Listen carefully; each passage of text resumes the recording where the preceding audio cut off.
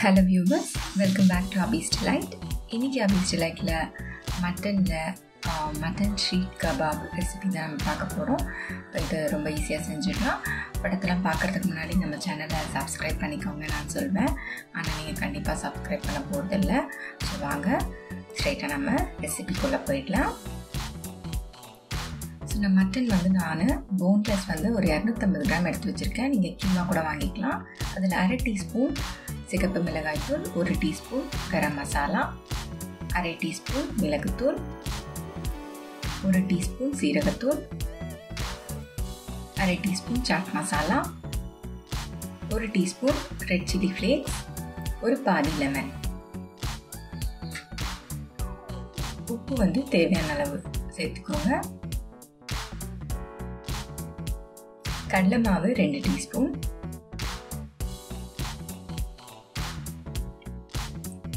சோள மாவு ரெண்டு டீஸ்பூன். இது வந்து நல்லா ஒரு பைண்டிங்காக நம்ம சேர்க்குறோம். ஸோ இதை வந்து நல்லா மிக்ஸ் பண்ணிக்கோங்க.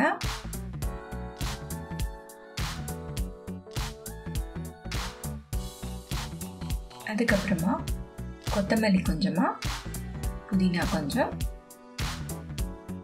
ஒரு வெங்காயம் வந்து நான் ஒரு சின்ன வெங்காயம் கட் பண்ணி வச்சுருக்கேன். அதை சேர்த்துக்கிறேன்.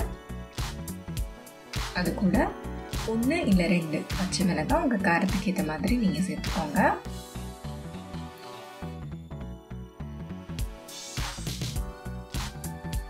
இஞ்சி வந்து ஒரு ரெண்டு இன்ச் இஞ்சி கட் பண்ணி வச்சுருக்கேன். அதை சேர்த்துக்கிறேன். ஒரு ஏழு பல் பூண்டு. இப்போ இது எல்லாத்தையும் சேர்த்து நான் மிக்சியில் கொஞ்சம் குறை குறைன்னு இருக்க மாதிரி அரைச்சி எடுத்துக்கிட்டேன். இதை வந்து நல்லா ஒரு பிளேட் போட்டு மூடியோ இல்லை இந்த மாதிரி கவர் போட்டு மூடியோ ஃப்ரிட்ஜில் ஒரு ஒன் ஹவருக்கு வச்சுக்கோங்க. ஒன் ஹவர் வச்சு அதுக்கப்புறமா எடுத்திங்கன்னா அந்த மசாலாலாம் நல்லா ஊறி இருக்கும். ஸோ இப்போ இதிலேருந்து ஒரு பால் மாதிரி எடுத்து நான் வந்து இந்த ஓவனில் வைக்கிற ஸ்குவரை ஒரு நாலு ஸ்குவரை வந்து அந்த மாதிரி ஒரு கவரில் போட்டு பண்ணி வச்சுருக்கேன். உங்ககிட்ட இது இல்லைனாலும் பரவாயில்ல.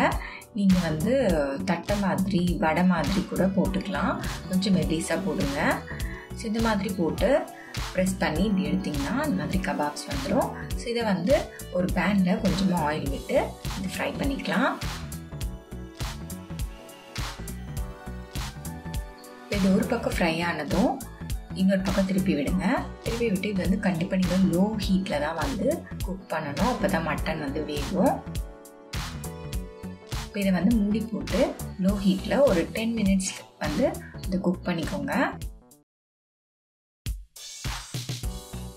அவ்வளோதான் நம்மளோட மட்டன் கபாப் சூப்பராக ரெடி ஆயிடுச்சு. இதை நீங்கள் வந்து க்ரீன் சட்னியோடு சாப்பிடும்போது ரொம்பவே சூப்பராக இருக்கும். உங்களுக்கு இந்த ரெசிபி பிடிச்சிருந்ததுன்னா ஒரு லைக் ஆச்சு போடுங்களேன். தேங்க்யூ ஃபார் வாட்சிங்